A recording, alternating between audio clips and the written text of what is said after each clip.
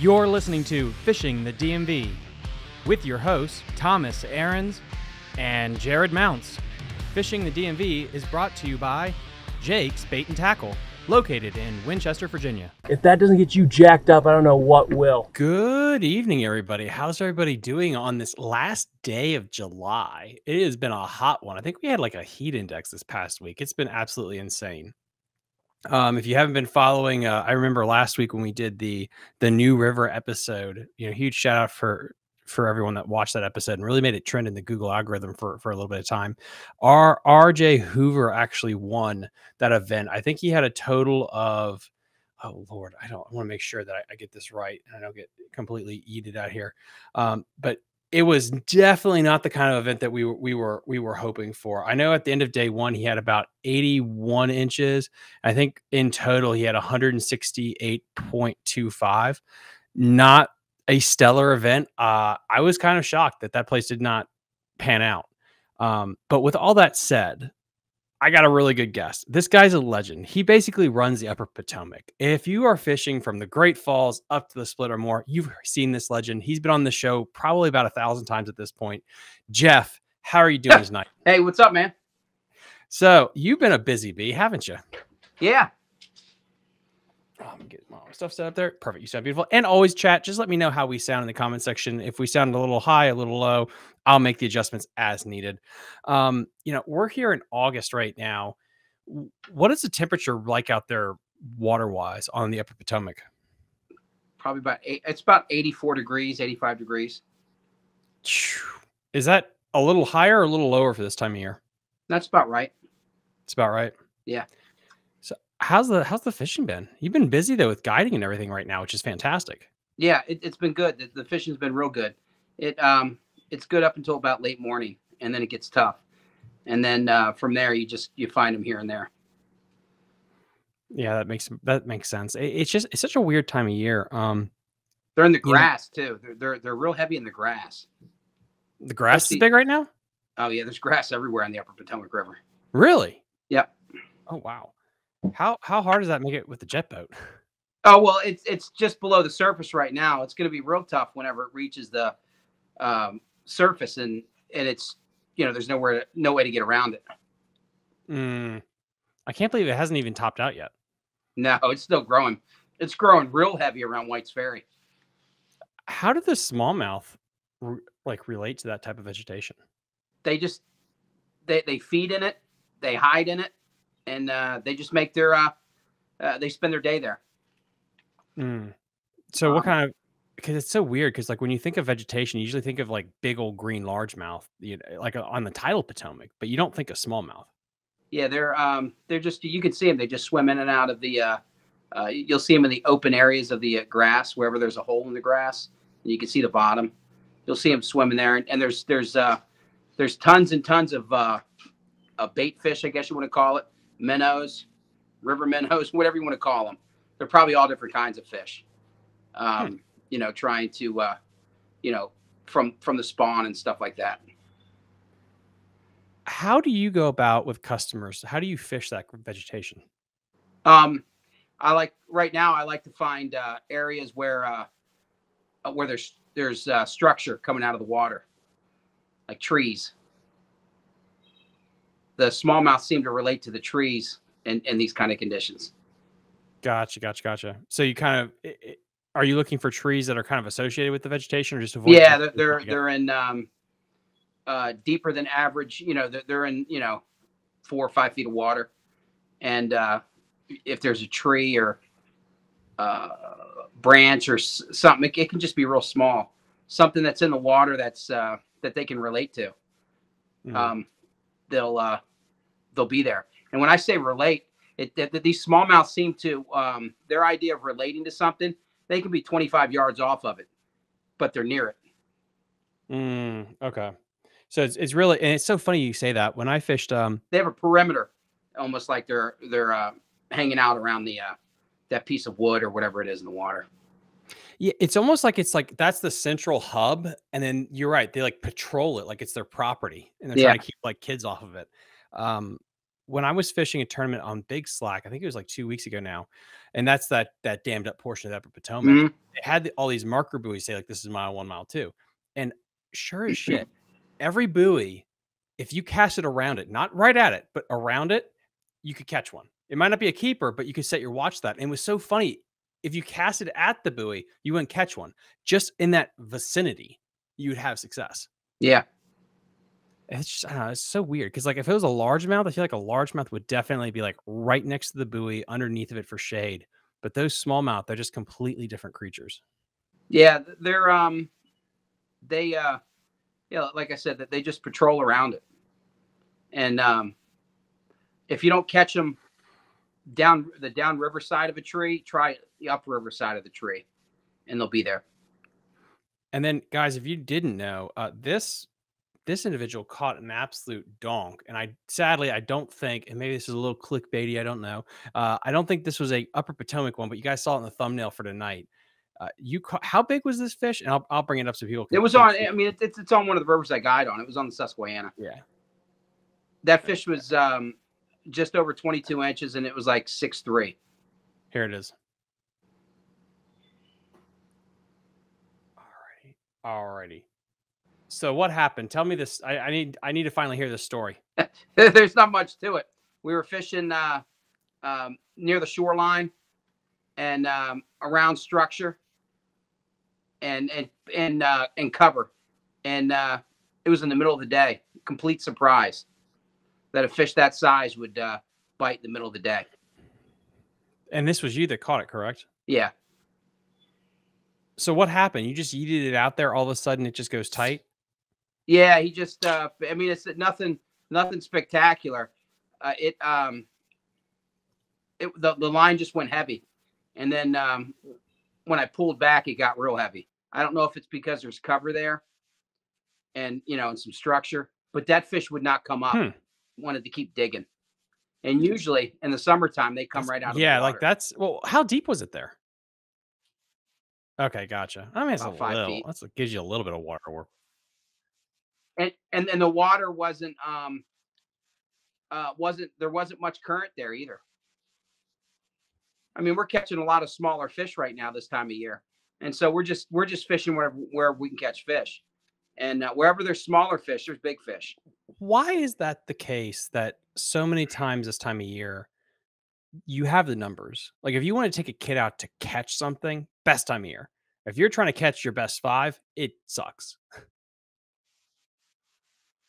because there's the, the water the water's warmer these smaller fish there's more to eat you know everything's everything's out and about everything's moving um yeah the crayfish all the little types of uh crustaceans underwater under rocks um the bugs there's a lot of bugs out this time of year David Williams. That is a tank of a smallmouth. It is. Um, that that picture isn't um i should have sent you a better one but that's still it, it's uh, um i mean that that fish was uh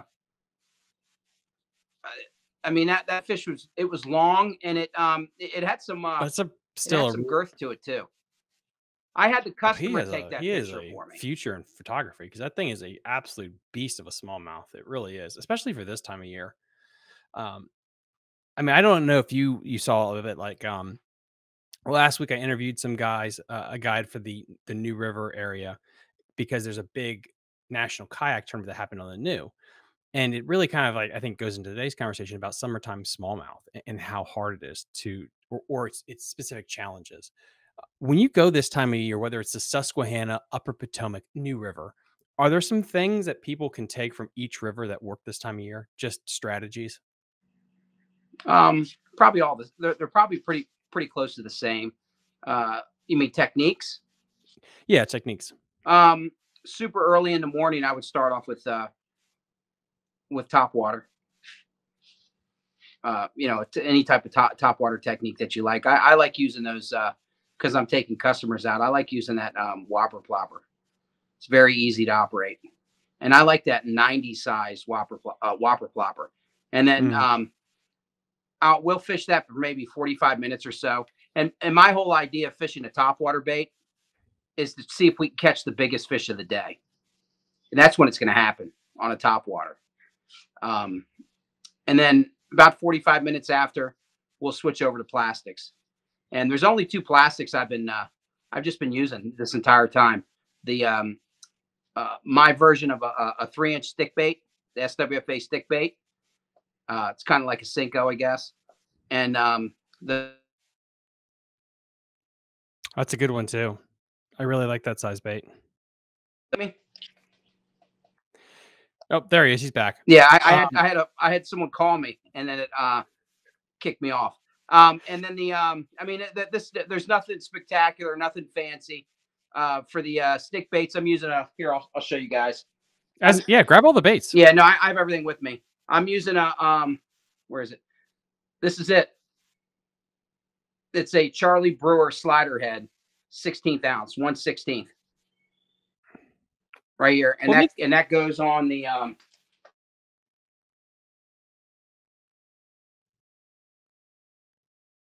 That's so interesting because I really wonder. like, pocket, man. Can you hear me? Yep. People are calling me about tackle. Okay, here. Here we go. This is it. This is how I'm rigging it. Man, I wish it would have been better since I'm putting it on the um, screen. But just like that, can everyone see that? Yeah, it looks good. Just like that, and then and the jig head is up top. So Now, do you hit that with some super glue? No, I just put it on there because once they once they uh, they tear up, I just uh, I just repour them and reuse them. Um, and then for the ticklers, I'm using uh, the Z-Man ticklers. That's such a goofy name, but um, I'm using these jig heads that I I pour. They're called SWFA finesse jig heads, and I use um, I'm using anywhere from what 16th ounce, 332nd ounce, and a 1 8 ounce. Huh. But my uh this one's a 332nd. No, no, no. This one's an eighth. I like using the uh, 16th and the uh, 332nd. I like trying to use as light of weight as I possibly get away with. What size rod, reel, and line are you using for that? The rods I'm using are medium light rods. They're seven foot long, and the um and what did you, you ask the the line? Yeah.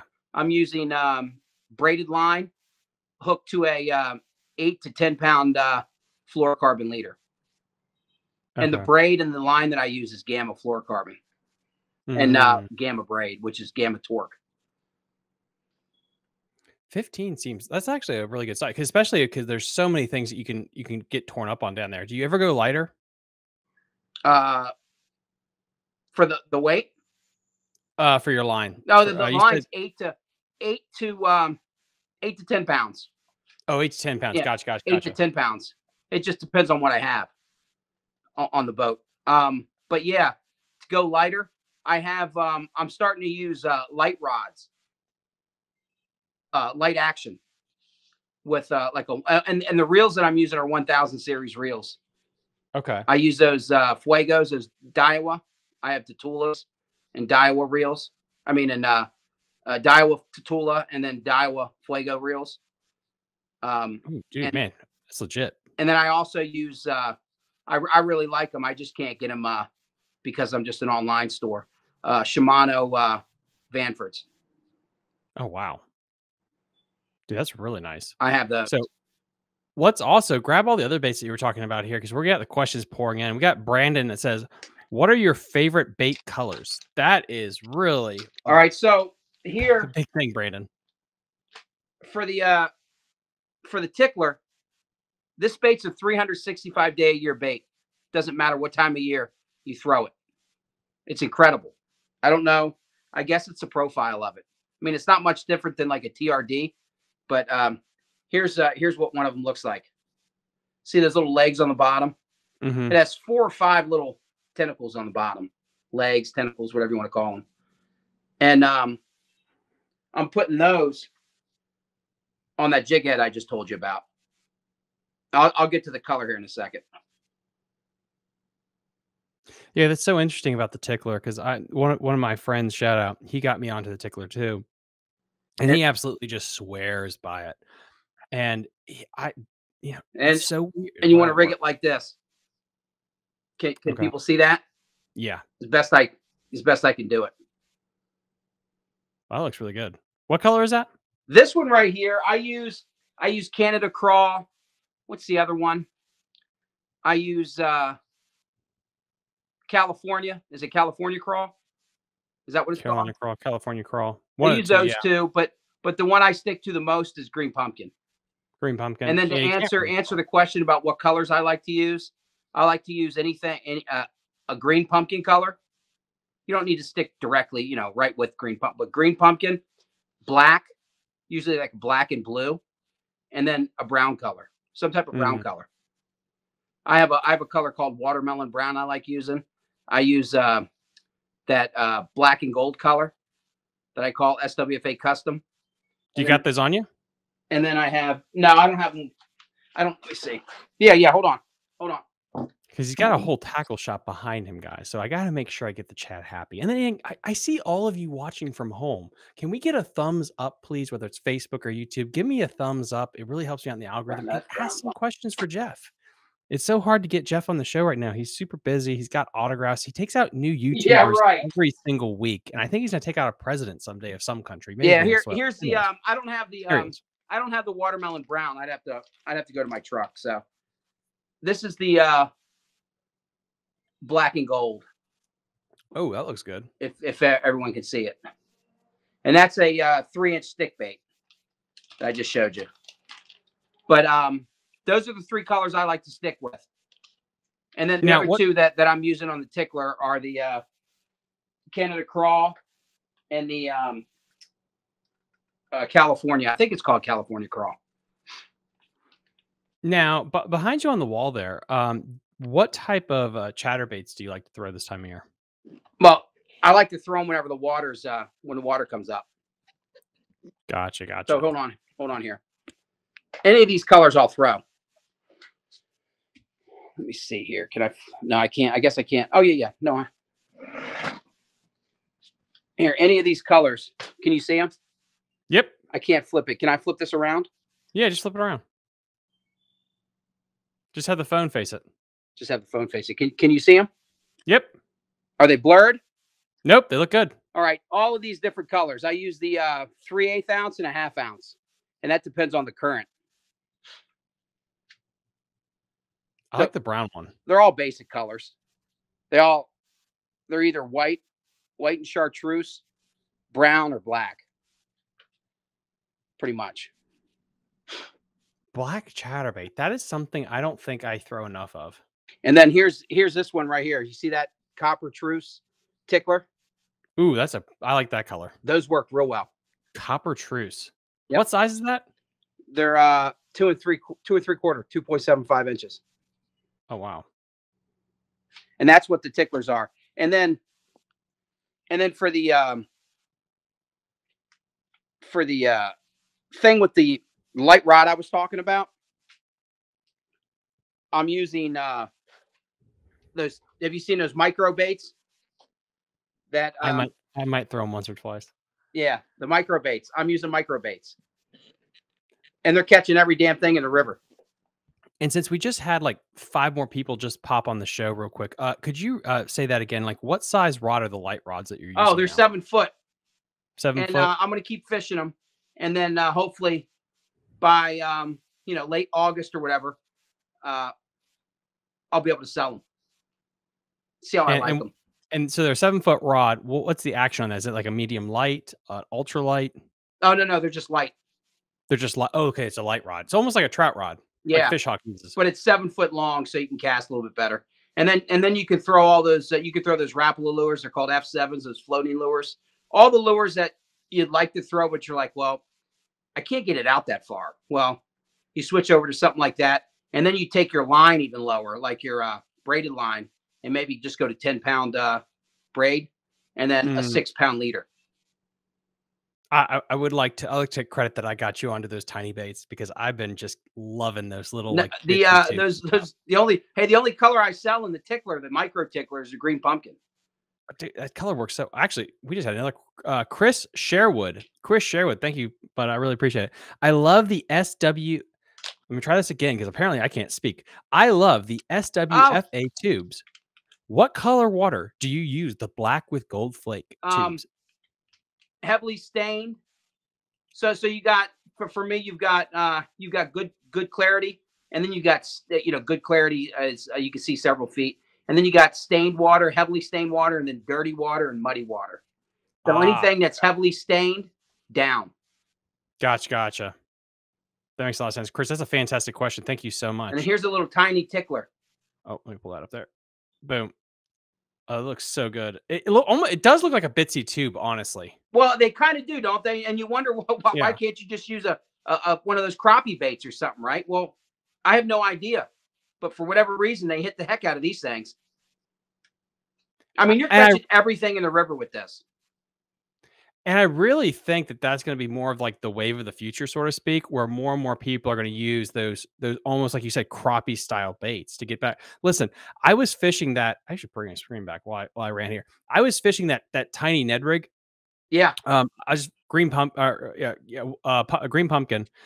I have those I was too. out, and I was out fishing the guy next to me when it came to size, and it makes no sense why. Yeah, I have those there. too.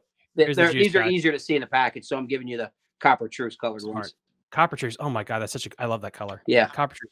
Guys, the micro, especially, I'm a little biased here, but the micro TRD turds, if you, I personally think pick that one, but the micro, the micro ticklers are great too. I, I think Jeff and I can speak to this because I fish them all the time because I have a creek right by my house.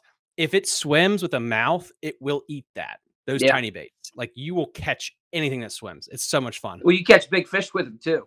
Ridiculously size, large fish with them. It's insane, dude. I don't understand like why they. I, I, maybe it's 'cause no one else fishes them. Yeah. Um, I'm gonna have a, uh jig head too come out. Um, that I'm gonna start. I'm gonna start making, and I'm gonna I'm gonna put a number number six hook on it, and they'll fit those. Uh, Ooh, smart. they'll fit those uh micro baits pretty good. That's a really good idea because I'm looking for a better hook for those things. Um, because I, I want something with that longer shank hook. Because It's, gonna be exposed though. Those hooks are gonna be exposed that's fine. in the baits. Because you're you're thinking of a longer shank hook, right? It's not gonna be like a tiny crappie hook. Well, no, it's just just a regular number number six sized hook. Okay, If, yeah. if that's I could find one with a longer shank, I'll I'll experiment with those too. there you go. You can invent that. But the uh, number uh, a number one and a number two hook, you can get those in a, a long shank, and I like those for swim baits. Ooh, that's really. Uh, do you throw any swim baits this time of year? Yeah, I'll throw swim baits. But right now, the baits I'm showing you is all, all I've been catching fish with, and people that are fishing with me are, are catching fish with. But those swim, I like throwing swim baits that are uh, three inches long, three to four. And I That use an eighth ounce jig head on them, and that's it. Oh wow, that's light. Yeah. I mean, I, it makes sense though, because like, what what are the flow rates that you're seeing right now? And if you don't have the numbers on you, that's- that's fine. But just just ballpark, what are the flow rates that you're dealing with? Like how fast the water going? Yeah, Uh, probably a mile, uh, one mile, two miles an hour. that's best. pretty pretty slow. And then w- w- So, so, so on the Susquehanna, the water's probably going twice that. that makes more sense. Okay, because what, what's the gauge at for the Potomac, generally speaking? Right now, it should be like somewhere around three, four, three, five.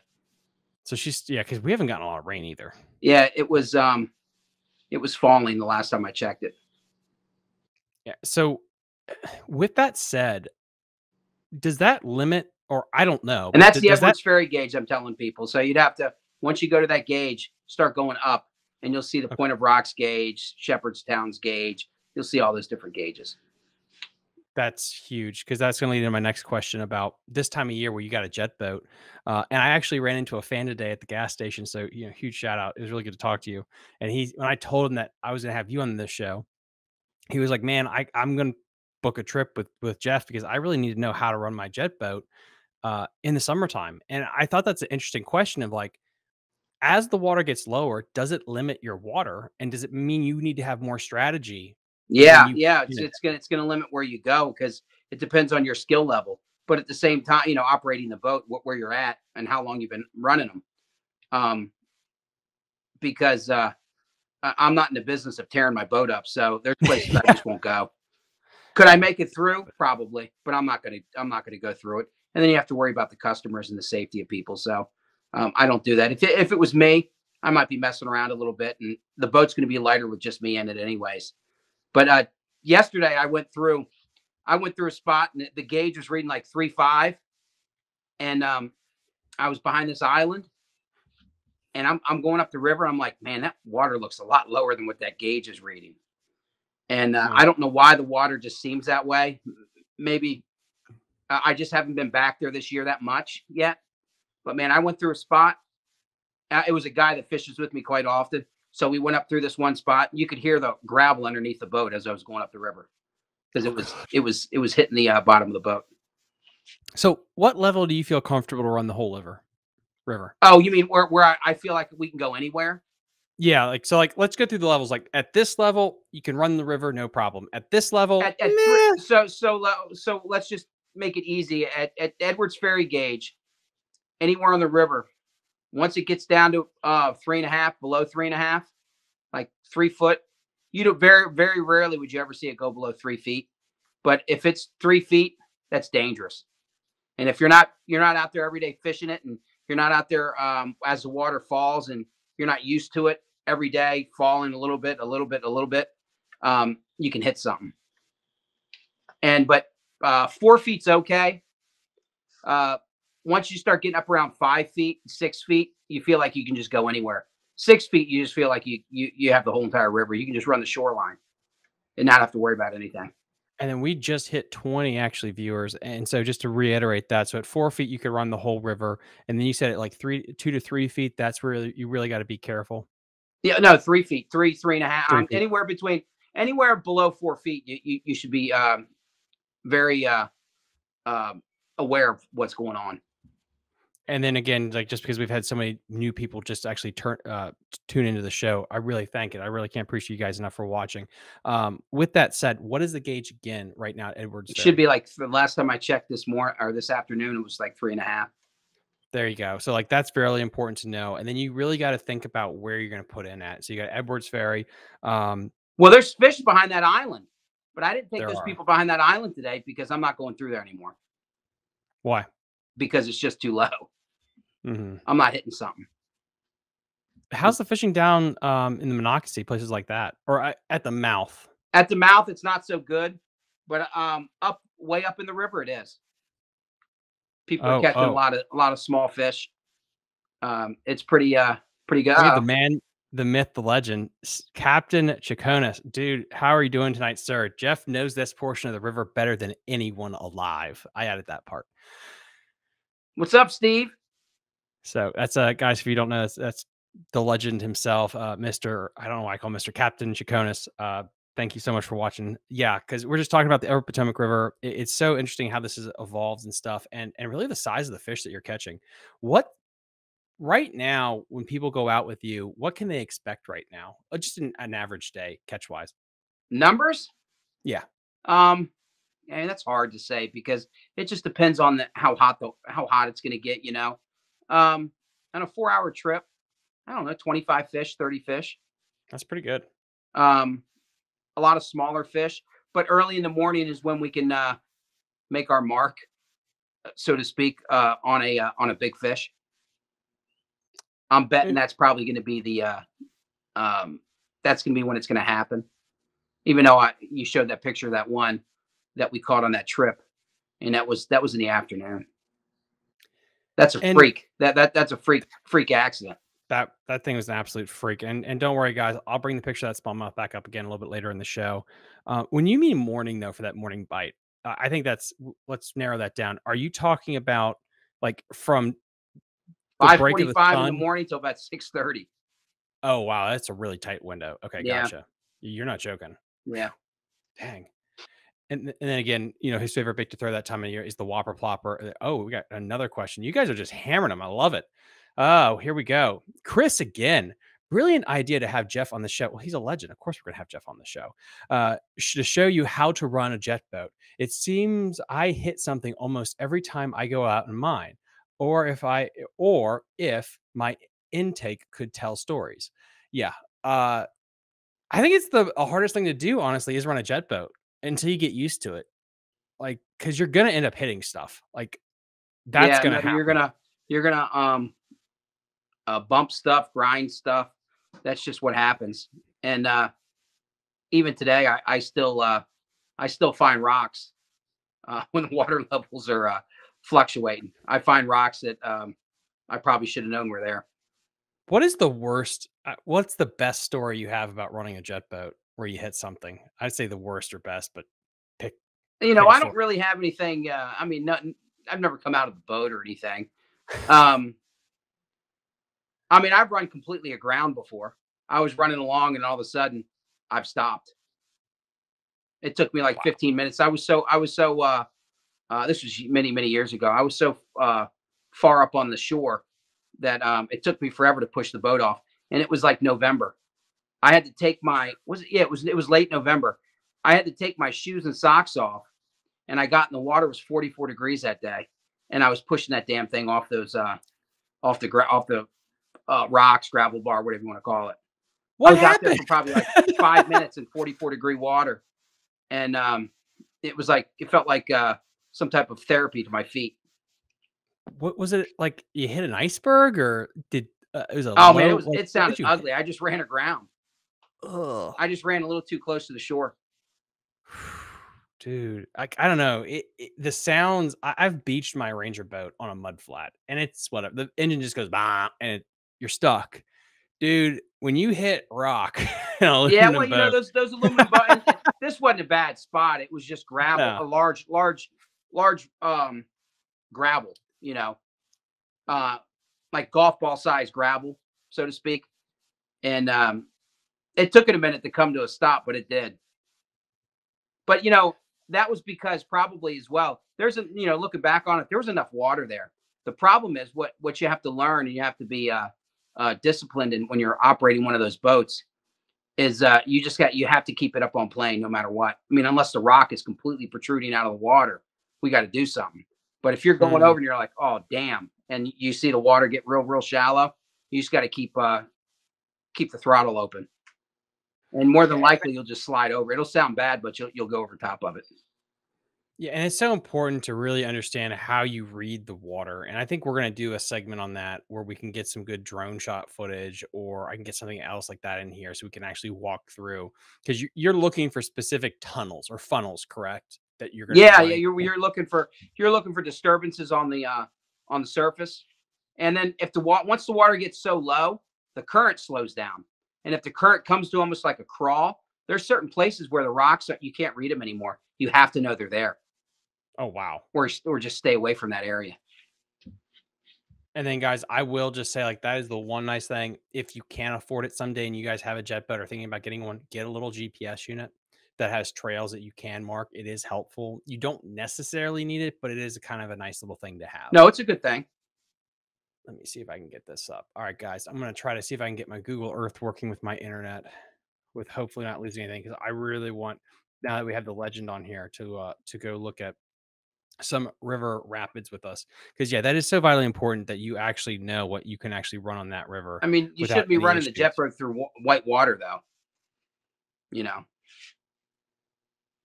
i mean what sections are absolutely a no-go right now oh, I would think uh, up around Brunswick would be really tough to run, ooh that's a good one all right and then there. Knoxville Falls, you're not getting up through there. here we go Too bad they don't take like daily photos somehow.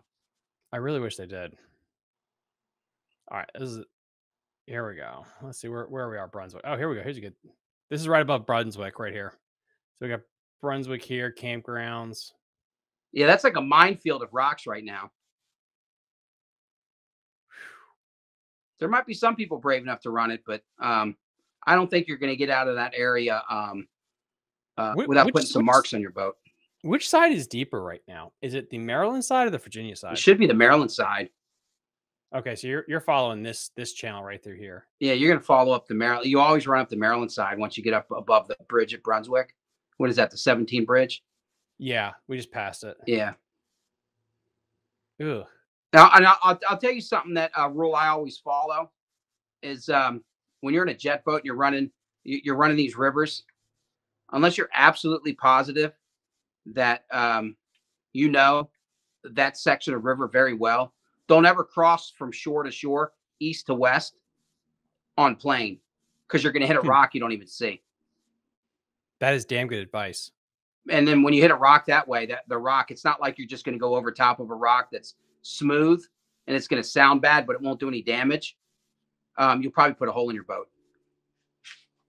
Yeah, that that's guys, that is such a great piece of information. You know, with that way the way water hits the rock and smooths it out, that makes absolute sense. And if you're gonna hit it, go upstream or downstream, but don't go veering across. Because you can even feel that on the rocks when you're wading the, the creek on how they're slippery on one end, but they're jagged on the other. Yeah, usually going you're heading downriver is, is when the rocks are smooth. You definitely don't want to hit hit a ledge that's facing downriver when you're going upriver. But There we go. you should you should use caution when you cross from the Virginia side. You know, using a uh, an example from Maryland to the Virginia side or Virginia to Maryland. And so right here, guys, on Google Earth, I think this is a really good tell that we got Catoctin Creek right here that dumps right in. We got Landers boat boat ramp. If you go up here, Oh, that's So- ugly up there right now, man. yeah, it, it I I can I can see. Yeah, that's probably that that's real ugly up there right now. Now if if there was a little bit more water on here, I think this is a good learning uh experience for people. This V right through here, are are these the funnels that you would be shooting if there's enough water? Yeah. Yep. Okay.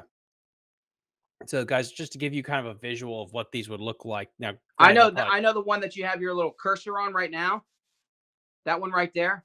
When the water Yeah. gets low, that one gets uh, that one gets real nasty. And then Really? the one up um, up above would probably be your best one to go through in low water. Right through here. Okay. Yeah. Yeah, I guess this is technically the outside bend, isn't it? Right through here. Yeah. Dude, Catoctin Creek does not have a lot of water in it. No, there's not much water in there right now. That's insane. Dude, that's insane. Now, if we scroll down, let's go all the way down, uh, really towards the Leesburg area. And this is honestly to me what I think is like the forgotten piece of the Upper Potomac is you get close to Leesburg. I just feel like people don't think there's fish there because it's next to a big city, but it's so it can be so good from Seneca up. Yeah. How is this stretch right now when it comes to like fishing and the ability to actually get your boat in and out? Is there a lot of water this time of year in this area? I haven't been down to Seneca in, in, in a while right now. And uh, my guess would be there's grass everywhere. Okay. Uh, right off of right out of Seneca Creek. It's Hmm. probably just full of grass.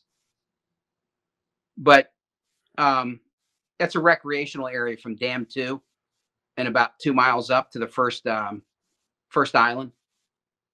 Or second maybe second island people use. Right here. Yeah, and all the way down to the uh to Dam 2 is pretty much like recreational. And uh it's you can run in there, but you're probably going to run it run through a bunch of grass right now. Is there any largemouth in that section? Yeah, there's largemouth in Seneca Creek. Oh wow.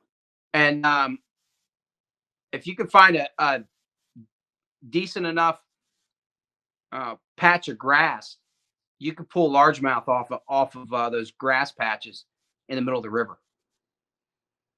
You see, that'd be fun to do. Is you're actually flipping the Upper Potomac for largemouth. That's kind of it's kind of epic. I'm, right I've, I've caught them out in the middle of the river before, and that's you know that that's that's not something that you would you would think would happen, but I've had it happen to me before. That's so freaking cool. And you get this stretch right here that's actually down below Dam 2, which I, again is I feel like no one fishes this either. Oh, that a lot of people wade that and they use their kayaks and canoes and stuff. Ooh. Black Point Conservatory. That's insane. Now, so in the comment section in the chat or the doc talks, people are saying that they're catching snakehead on the upper Potomac. Have you heard any of that doc talk before? No, no. Um, I thought that they were in the um, in the canals. I yeah, I've heard that too, that they're in the canals. I mean, I, everyone keeps saying, "Oh yeah, I have a friend that caught one." Probably did, but I just kind of want proof before I'd be like, "Oh yeah, 100 percent they're in the upper." I've never seen one up there, and all that from Seneca on up. How how how uh how's the flathead right now? Oh, they're okay. Um, I, I really haven't been messing with them too much. Um, they're uh, a good spot to, uh, you know, so some of the spots that are good for flathead. Um, I'm not fishing them because I'm fishing for bass and others, you know. hmm Um, but anywhere on the Potomac, Upper Potomac, where you can find a deep hole that's five, six feet deep, and it seems to be the deepest portion of that stretch of river, um, you probably have a good chance of catching flathead. Monocacy. Boom, the Monocacy dumps in. How's this section fishing right now? Um, good. but there's a lot of grass. You can't go very far right now. Can you with- catch? And, and with a jet boat, with a jet boat, you have to be careful running running the river. And and even though you know where you're going, if you haven't been out there and and you don't know where the grass is, if you start going through a real shallow section and you suck grass up, you're going to come off plane and you're going to hit the bottom of the river. Ew. So you That's have, no you, have, you have to keep that in mind when you're running your jet boat. So some places that you haven't been, you might not want to go right now because uh, there's uh, there's just not a lot of water. But if we get if, if we get some rain and the water comes up, you know, a foot or two, um, then you go up into those areas and um, see what's going on. How hard is it to steer a jet boat compared to a prop? Um, it's different because there's no uh, when you steer. It's like steering it. Uh, you have to be under power to really steer it.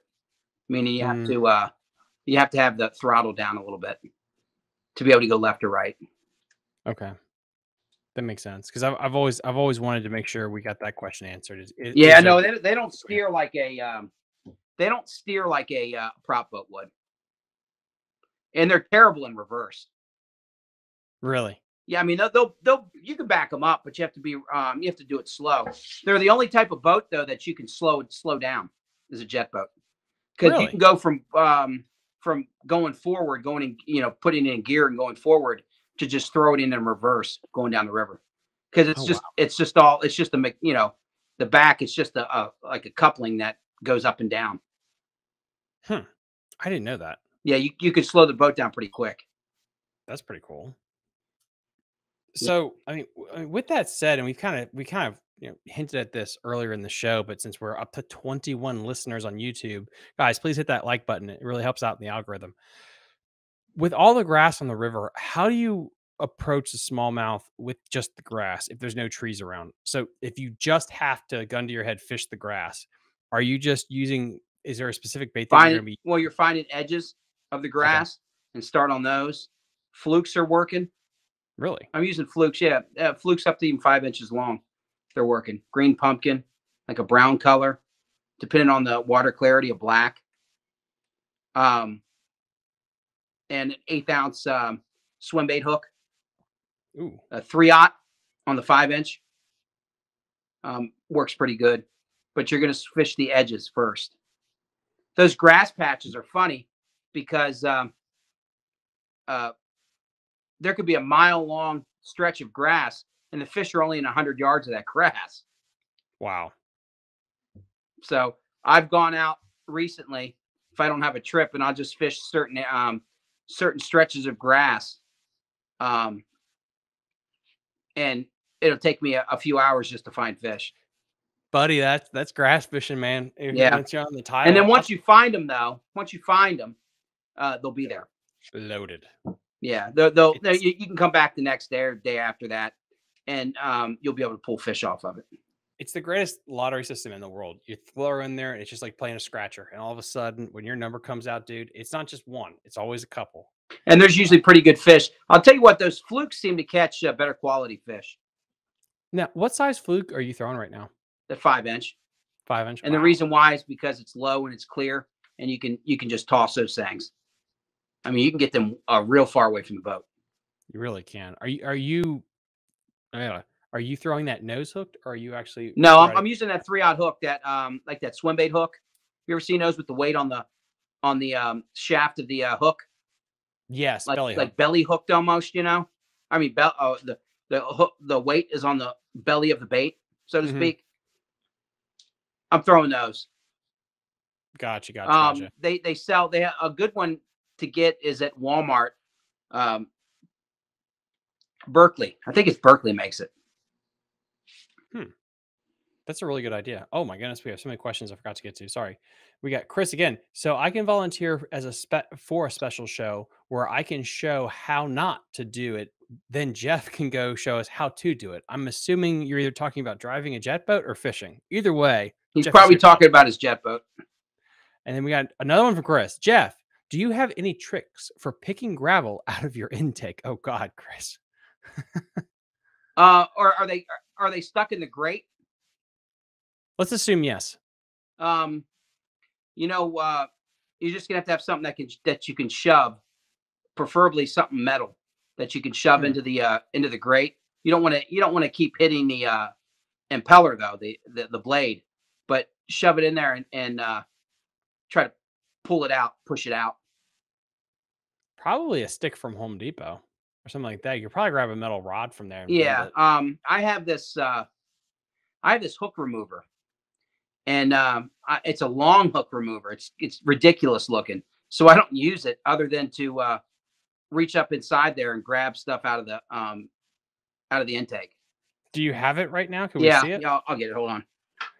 Chris, man, he Chris, you were helping Chris out. He's getting his money worth tonight. My goodness. Yeah. Then, guys, yeah, please keep, continue to ask questions. It really helps us out. Uh, again, this episode is just for the live viewers. It will be unlisted after the show, and it's going to be re-uploaded on Wednesday. And I'll make sure the audio levels are good and all that stuff. It's So uh, make sure you your questions. it, looks like this. I mean, it looks like a like a surgical tool. Good but- lord, It's long. Hmm. Oh, where's it? Where is it? This way. put it towards your face. There you go. Yeah. And I just Oh, use wow, it. And I, I just I just push it up into the uh into the um into the grate and and pull down, trying to just knock whatever it is You out. have a great crankbait selection. Good lord, I'm jealous. Those work, man. Oh, I got some of these in too. Some uh the uh Rapalas. They work good too. Ooh, what size are those? The DT fours. Oh, love those. Yeah. So Oh, those DT4s are free, freaking awesome. But yeah, no, guys- that's that's uh something like that, a tool like that. They probably make tools that you Probably can do. buy from like Mercury or uh, some type of uh, boat shop. But I've never really looked into it. I would imagine they do. And and then guys this is actually a great segue to talk about this we are going to be setting up a special show where we're going to be talking about boat welding and then we're also going to be on on location i'm going to be on location for this but we're going to talk about boat welding and we're also going to be talking about i think jet boat maintenance and things like that uh probably going to be late august september since i'm so booked up but that is going to be coming so we can get all your questions answered about that specifically so that that's going to be a really great show Um, oh, here's another thing since we're talking about boat maintenance real quick. I had an issue with my boat not too long ago, and the um, um, the guys at ABC Marine helped me out. If you guys don't know where that is, that's in Thurmont, Maryland. The guys that operate or that that uh, the, the the mechanics there, they operate jet boats, so they know jet boats. They work on them. They convert them into uh, they they convert uh, outboards into um, outboard jets. You know, prop motors. Um, they're very knowledgeable. Well, I had an issue recently where my uh, my boat was throwing an alarm, and it kept telling me my um, injector was was bad or going bad, and it used the uh, terminology. It says uh, non-critical at this at this point or something on my gauge, Hmm. and um, uh, they checked the uh, the injector. They they they they did several things, and what it came down to because this is a mercury outboard. What it came down to is a wiring harness. They're in there so tight, they straight, you know, they stretch them out so tight that it was leaning up against a um, uh, a, a metal bracket that was painted. And I don't know how long it took it to do this, but the wire, and it happened to be the wire to the injector, was rubbing on that metal bracket for so long and vibrating that it vibrated the paint right off the uh, uh, steel bracket, and it um, vibrated the uh, it ate through the uh, wire, and it wow and it brought it up to where it was just bare wire, and that I lost a lot of power out of the outboard doing that. were you able to get fixed Yeah, and after they fixed it, I got um, it's incredible how much more power I have. it's just insane with that stuff. Like, I feel like engines nowadays are becoming overcomplicated in how they make it. Like, my wife has this um Volkswagen Tiguan. It's German made, which means it's complicated as shit. And it every day it feels like there's a new problem with it. And at this point, we're literally just trying to save up to get a new vehicle, and it's because it's over engineered and there's too much computer chips and wiring and shit like that in there. And I feel like with a lot of the newer boat engines, it's the same thing. It's just over engineered.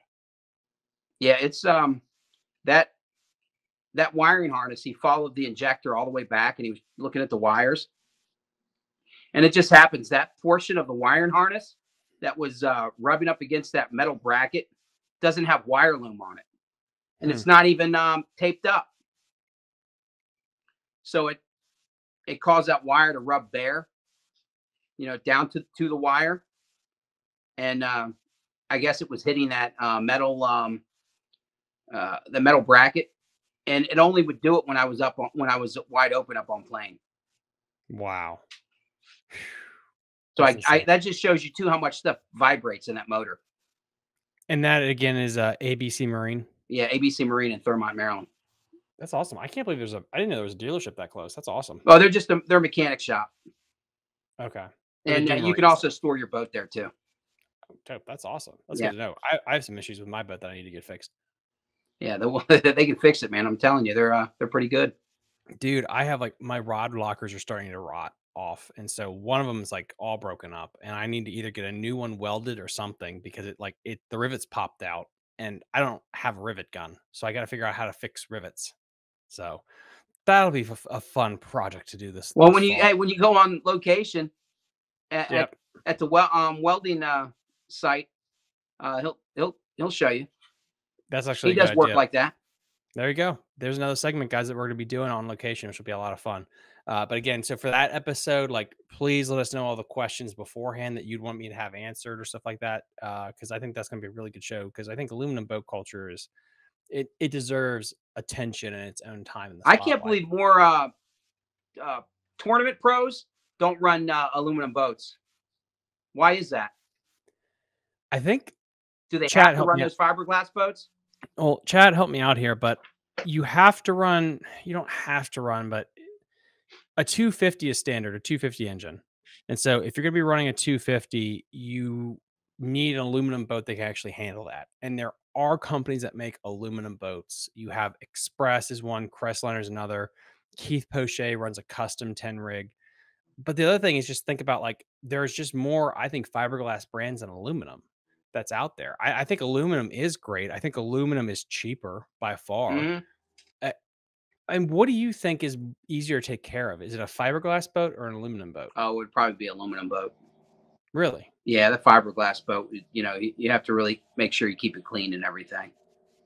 Why? You well, the uh the hull can crack and all kinds of stuff. if you don't clean it? Well, no, just you just have to take care of it. I mean, if it if you bump something hard enough, I'm su- I'm sure it'll crack it. Oh yeah, yeah. I just thought if you, if, I thought you meant if you don't clean it, it'll crack. No, no, no. Uh, aluminum boat's easy to clean because you can just take a power washer to it. I don't think you can hit a um, fiberglass boat with a power washer up real close to get stuff off of it. And I think you have to be real careful. Yeah, I mean you got to scrub it down. Um, you don't want the sun to oxidize it, stuff like that. I don't have a fancy garage or anything to keep my boat in, so I've I'm always terrified of like sun oxidation on it. Yeah, But I think I think you're right there. The biggest thing, the biggest difference I see with it is the fact that with an aluminum boat, you can bash it into stuff and not worry about it, rocks and stuff. And or the other e- is- even at the dock, you can bump Yeah. into stuff at the dock, and and and it really doesn't. You know, it's nothing that you're going to look twice at.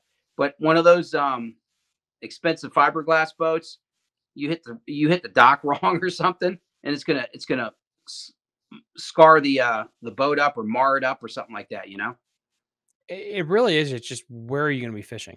I mean, if if you're fishing a lot of small lakes, not big water. So I think the tidal Potomac is big water because of the Oh, washing yeah. machine effect of the tide.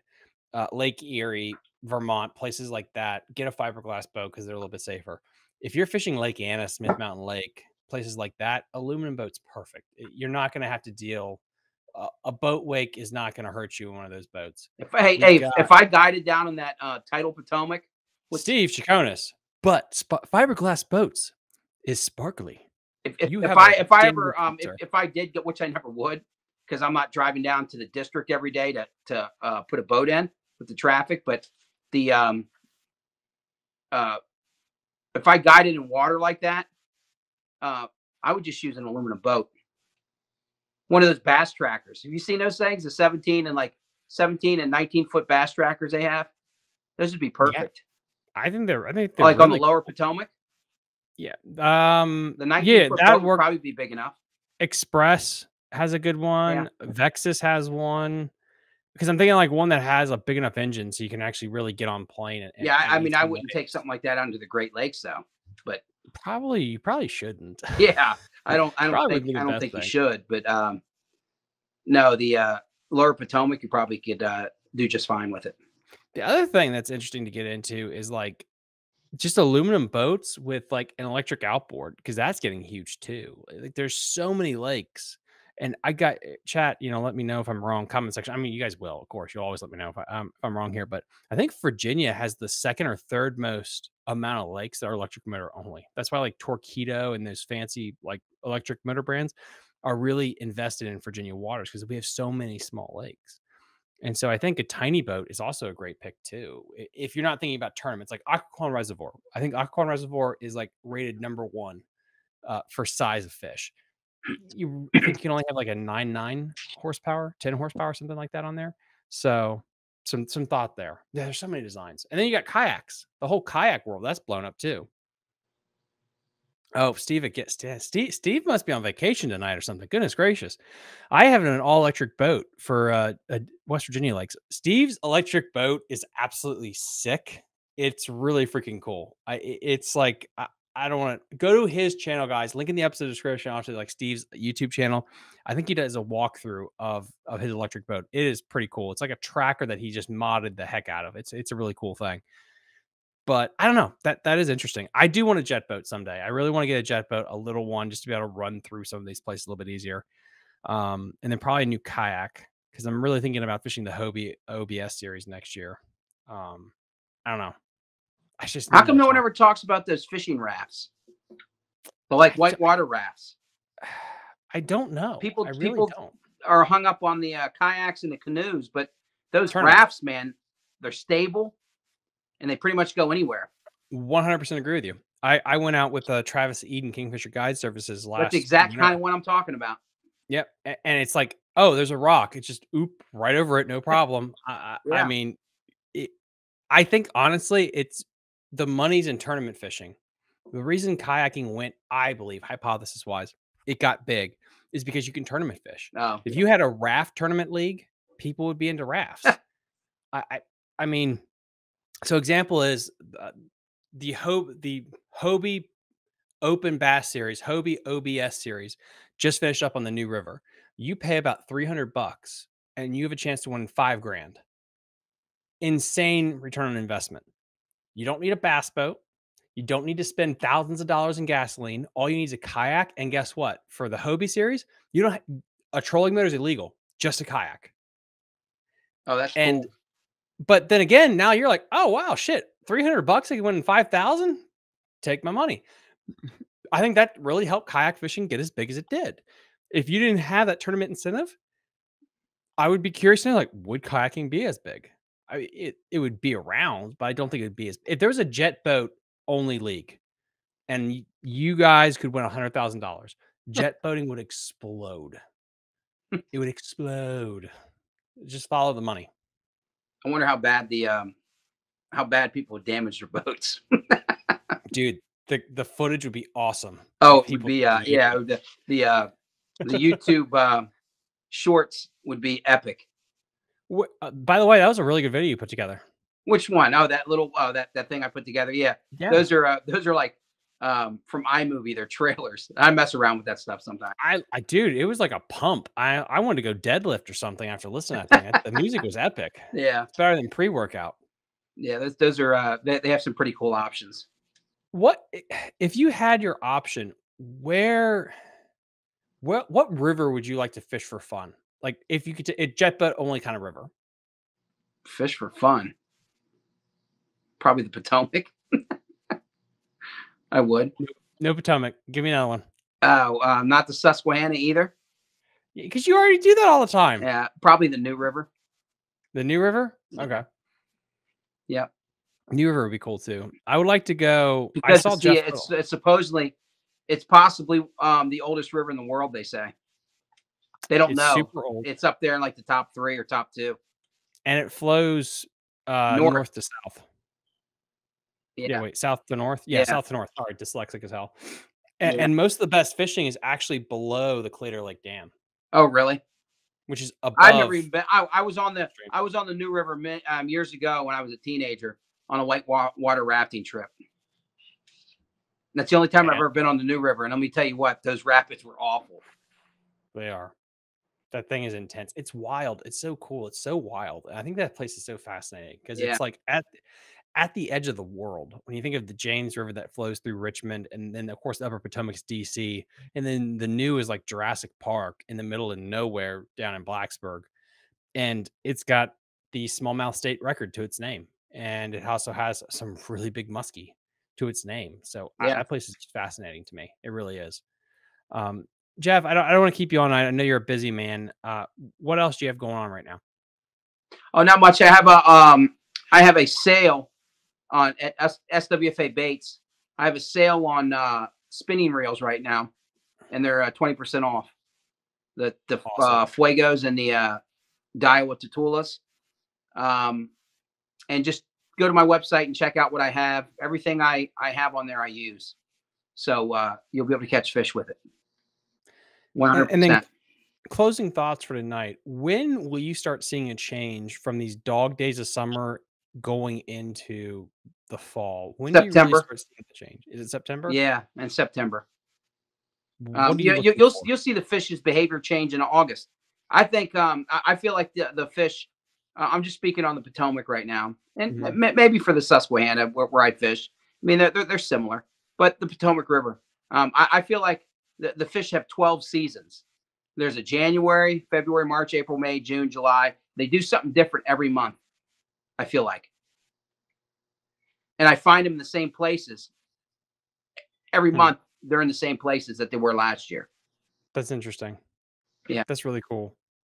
And then, so what in September clues you in that things have changed then? Well, the water starts cooling down, and the um and, and the class of fish gets better. The quality of fish starts getting better.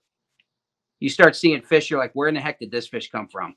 And you start catching better quality fish uh, later in the day. You know, it just Hmm. th- things just change. And then um, types of lures you can use. Well, you know, we're going to get more rain, and the water comes up. You'll be able to use uh, uh, with, and, you'll be very efficient at catching fish with crankbaits, chatterbaits. Uh, when that grass starts dying off, um, and you can find an area where the grass isn't just all over the place, floating down the river. Jerk baits, you know, in October when that grass starts dying from the cold weather. Hmm. Yeah. Um, and you can just do trips on actual lures and not have to use plastics. And then you know you can keep in those those uh, top that top water bite will get real good. Mm. Dude, I can't wait. Yeah, we're gonna get there, guys. But hey, for all you out there, be safe on the water. Be safe. This is the best time to go wading. Go book a trip with Jeff. Get out there, catch a big one. Uh, again, link in the episode description to everything that we talked about. Uh, this episode is going to be privatized for now, so I can polish up the audio, but it's going to be re-uploaded in 48 hours on Wednesday morning. So live and hey, use those. Um, people need to uh, check out those uh, micro baits. Yes, Don't think micro because they're little, you're just going to catch panfish. You're going to catch everything in the Okay. River. You're gonna catch everything. I've been hyping those things up since I saw them from ICAST. They're the shit. No one throws them except me and Jeff. Use Apparently, and use a light rod with them. light. Light rod, and you want you want to use braided line, like a ten pound braided line, and go with six pound. Shoot, even a four or six pound um, leader. Yeah. I think six is good because, it- like you said, you're gonna catch some big ones. You- Yeah, you, you yeah, really uh, are. six pound, yeah, four or six pound uh, leader, and um, it's it's incredible because Yeah, I've just it- started playing with them um, this summer. It, it doesn't make sense, but it makes all the sense in the world. And okay, because we're going to that that finessier stuff. You can see the industry. I mean, the the smallmouth, they- going. they have no clue what just hit them. I mean, we we smoked them with those little ones up on the Susquehanna. Is that what you caught the big one on? No, I caught that one on a um, on a uh, one of my uh, stick baits. Stick baits. Yeah. Yeah. And then guys, a link in the episode description, of course. Just you can go there right now if you want to and click on it and get some Majest baits. It's linked right to his store. Please help support him. Like, subscribe to the channel, and we will see you next time on Fishing the DMV. Bye. You're listening to Fishing the DMV with your hosts, Thomas Arens and Jared Mounts. Fishing the DMV is brought to you by Jake's Bait and Tackle, located in Winchester, Virginia. If that doesn't get you jacked up, I don't know what will.